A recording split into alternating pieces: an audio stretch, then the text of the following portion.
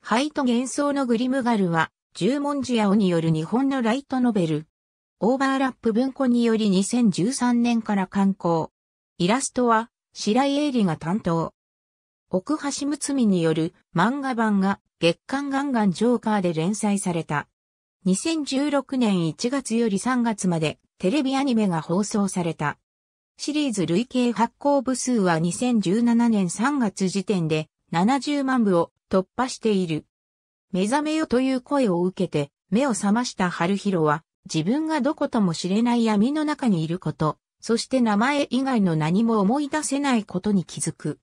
同じ境遇の12人が揃って外に出ると、そこは赤い月が照らす地、グリムガルであった。途方に暮れる春広たちだったが、そこに現れた案内人に誘われた義勇兵団レッドムーンの事務所で人類が魔物と戦っていることを知らされる。そして、この世界で生きていくために、義勇兵となってその戦いに身を投じるか、街で、細々と生きるかの選択を迫られた。決断できない春広を尻目にいち早く動いたレンジは、見込みのありそうなメンバーを誘って、パーティーを組み、結果として春広たちは残された者同士でパーティーを組むことになってしまった。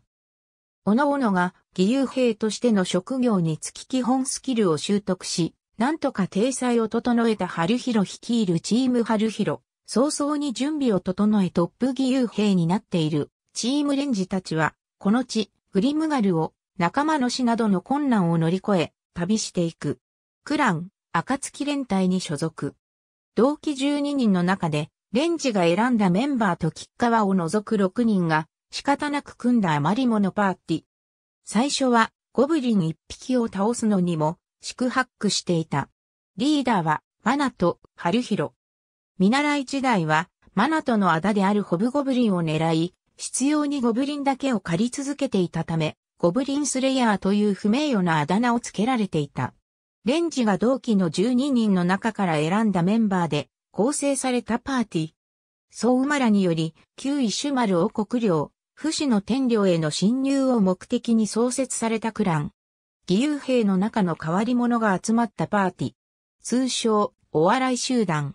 メリーがかつて所属していたパーティー、デッドスポットとの戦いで壊滅する。生還したメリーと林は別のパーティーに移籍。死亡した3人は埋葬できず、不死の王の呪いに囚われていた。勘抜き外し今日開かずの塔の主。ヒヨムーナゾの少女。開かずの塔で目覚めた者を義勇兵団に案内する役割を持つ。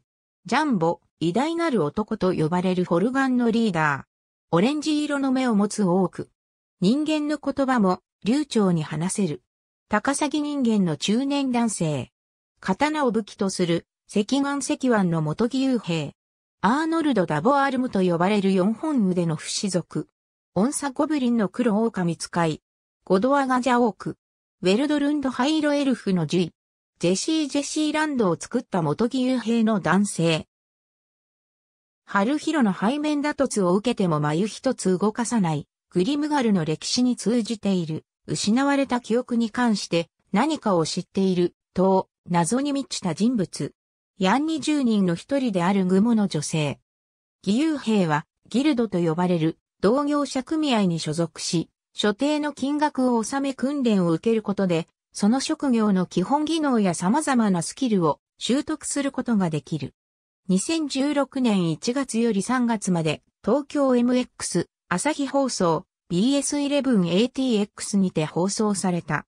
当アニメの一部作曲手法にフィルムスコアリングが用いられている。